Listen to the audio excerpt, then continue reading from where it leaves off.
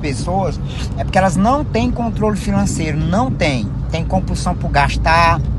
E aí se divida. E quando uma pessoa ela não tem é, controle financeiro, ela pode ganhar o dinheiro que ela for. Ela sempre vai estar devendo os outros. Você não conhece aquelas pessoas que ah, fulano ganha não sei quantos mil, mas só anda perreada porque não tem controle financeiro. Então se a pessoa não tiver o controle financeiro, ela pode ganhar milhões. Tu pode, se tu botar 500 mil na mão de uma pessoa que não tem controle financeiro, com dois meses ela tá lisa, endividada.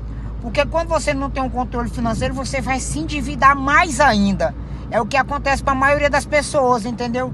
Querer viver uma vida que não é ela. Aí, meu amigo, se endivida. Aí depois que essas pessoas se endividam, ela quer achar culpado. Aí vai botar a culpa num preço de um negócio que subiu, que baixou, não sei. Mas se tu não tiver controle financeiro, meu amigo, velho, você pode ganhar o dinheiro que for. Vai continuar liso. Liso liso, liso, liso.